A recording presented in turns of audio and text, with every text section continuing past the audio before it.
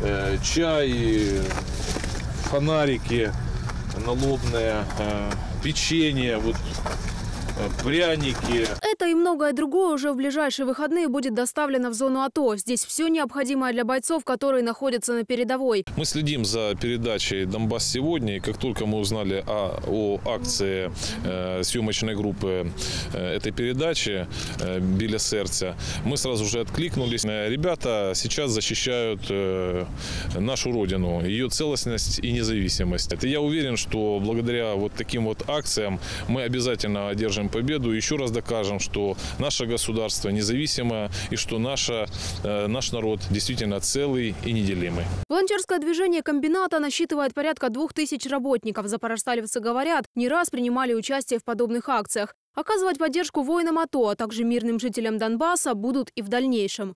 В это непростое время для Украины мы все должны помогать ребятам, которые находятся на передовой.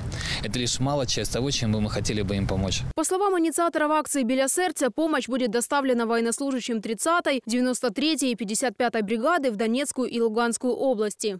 Люди, которые находятся в зоне АТО, рады любой помощи, как гражданские, так и военные.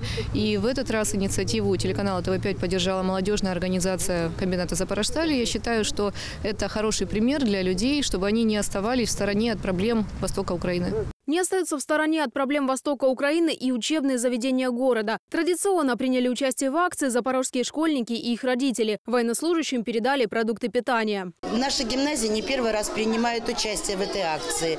И наши родители, школа откликнулась, и мы передаем конфеты, сладости, кофе, чай, печенье, варенье, приготовленное бабушками, мамами, ребятам. Социальная инициатива телеканала ТВ5 «Біля сердца» стартовала в декабре 2015-го. В рамках первого этапа акции запорожские школьники передали украинским бойцам порядка 200 рисунков и писем, а также сладкие подарки. В дальнейшем организаторы планируют доставлять помощь не только военным, но и мирным жителям Донбасса, которые находятся на линии фронта. Принять участие в акции может каждый желающий. Обращаться по телефону, который вы сейчас видите на экране. Ирина Погоренная, Евгения Мельник, Андрей Снисаренко, ТВ5.